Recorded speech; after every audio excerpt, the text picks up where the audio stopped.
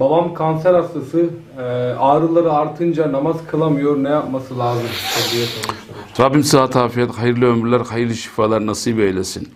Bismillahi erkik, vallahu yeşfik min kulli da'in yetik. Rabbim Şafi ismi şerifiyle hayırlı şifalar nasip eylesin. Şimdi hasta olan birisi hangi tür olursa olsun Kur'an-ı Kerim'de ellezine onlar yezkurun Allah'a Allah'ı zikrederler yani namaz kılarlar. Kıyamen ayakta. Ayakta gücü yetmiyor ve kuvveden oturduğu yerde. Oturduğu yerde namaza da gücü yetmiyorsa ve ala cunubihim yattığı yerde.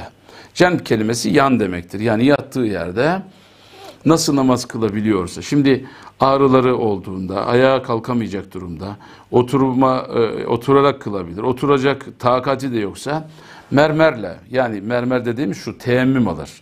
Ayağa kalkıp gidip de abdest alamıyor. Efendim burada yani teyemmüm iki, iki kısımdır. Bir, hakiki su yok. İki, hükmi yani oradan su akıyor ama o kişi kalkıp o suya gidemiyor. Ayağa kalkamıyor. Efendim kaldırmak da bir hayli müşkilat. Ona büyük ızdırap olacak. O durumda bir mermer e, veya bir tuğla veya güzel bir toprak e, bir beze sarılır. Üzerine dokunmak suretiyle yüz mest edilir. Bir daha efendim sağ kol aynen yıkanırmış gibi böyle.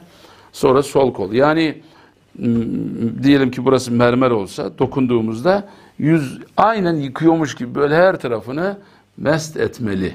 İki darp bir niyet. Yani teyemmüm dediğimiz zaman niyet farzdır.